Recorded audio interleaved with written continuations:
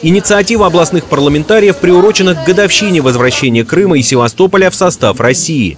Евгений Еременко выбрал необычный формат общения с лицеистами – диалог со свободным обменом мнениями. Наверняка обычная лекция не дала бы такого эффекта. Мы намеренно уходим от э, какой-то повестки э, и просим э, ребят вот максимально э, высказать свою точку зрения, то, что они думают э, о сегодняшних событиях, как они дальше видят развитие этих событий. До визита в родной лицей Евгений Александрович за месяц побывал в школах 15 муниципальных районов, объехав почти весь запад Подмосковья.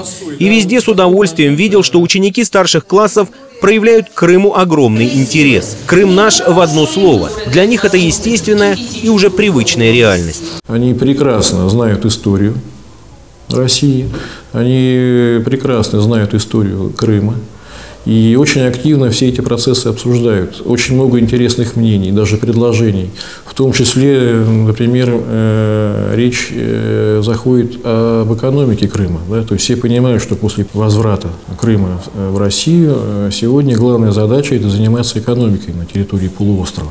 И они об этом очень активно говорят и делают очень интересные предложения. Иногда мы удивляемся, откуда только берется в сегодняшних молодых людях такой патриотизм. Ведь столько лет его воспитанием занимались по остаточному принципу. Очевидно, в русском человеке он действительно заложен на уровне генов. В качестве аудитории для общения не случайно выбраны именно старшеклассники. Ведется очень активная информационная война, это ни для кого не секрет, и, на мой взгляд, э, главный вот э, субъект, что ли, на кого нацелена эта информационная война, это как раз молодые люди. Поэтому наша задача им разъяснять позицию, все это дело э, объяснять, они должны это понимать, конечно, потому что им дальше жить здесь, работать.